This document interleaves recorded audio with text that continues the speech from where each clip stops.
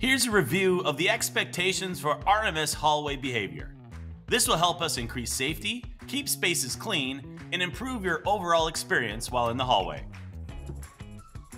When you're walking, please walk on the right side of the hallway. Also, avoid walking in large groups. This clogs up our hallways. Remember, bell to bell, no cell. That's from 810 to 255. Use a quiet indoor voice when walking in the hallway, especially when you're walking in the hallway during class times.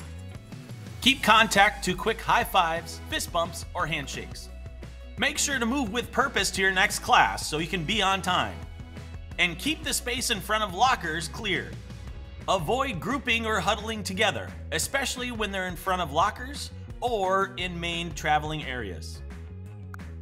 Students should always have a pass signed by a staff member when walking in the hall during class time. Always move safely through the hallways at a regular walking rate. No need to run, jog, or skip to your class or lunch. Only water is allowed in the classroom areas. Water should always be in a spill-proof container to avoid spills and messes. Thank you for helping us keep our hallways safe, clean, and improving the overall experience for all students. Be ready, be responsible, be respectful, be royal.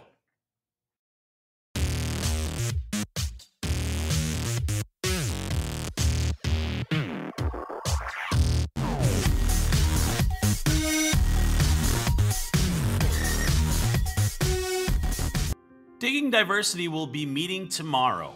5th and 6th graders, you'll be meeting second hour. 7th and 8th graders will be meeting third hour.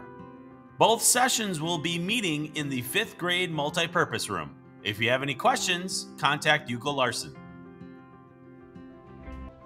May is Mental Health Awareness Month, and here are some upcoming activities at RMS Watch out for Schoology updates that share easy ways to take care of your mental health. Later this month, you can participate in a kindness activity to spread positivity throughout the school. There will also be a mental health bingo game. For more information and resources, visit mhmbc.org. The Thumbs Up program is offering free after-school hangout times on Wednesdays, 2:15 to 5 p.m at the Rogers High School's Activity Center. Registration or sign up is not required and you can just show up whenever you'd like. For more information, find the posters around the school or go to thumbsupformentalhealth.org.